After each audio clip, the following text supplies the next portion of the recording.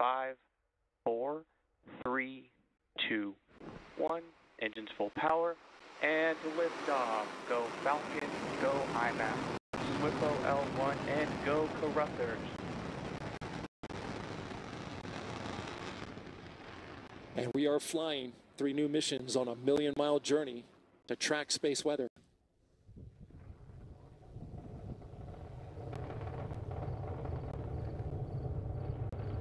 Good looking flight so far. Our tracking cameras getting a great shot as this mission climbs into the sky. We'll be looking now for those engines to throttle down as we go through max Q, the time of maximum dynamic pressure on Falcon the vehicle. 9 power and telemetry are nominal.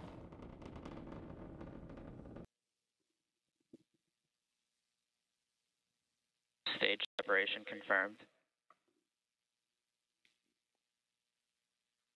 And there it goes.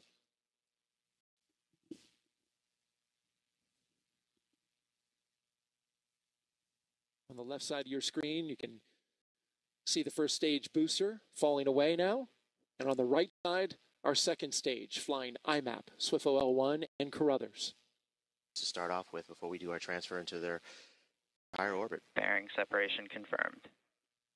There go the fairings, and now you can see Yeah. all three spacecraft revealed. Trailing there. Uh, this landing burn scheduled to start in just a few landing burn. seconds. There it is, starting up. This will last about 25 seconds, and this will reduce the remaining speed of the vehicle for a soft touchdown on the drone ship. Just read the instructions.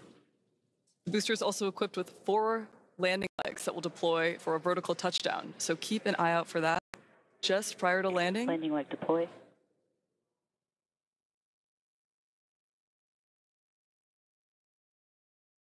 Stage one landing confirmed.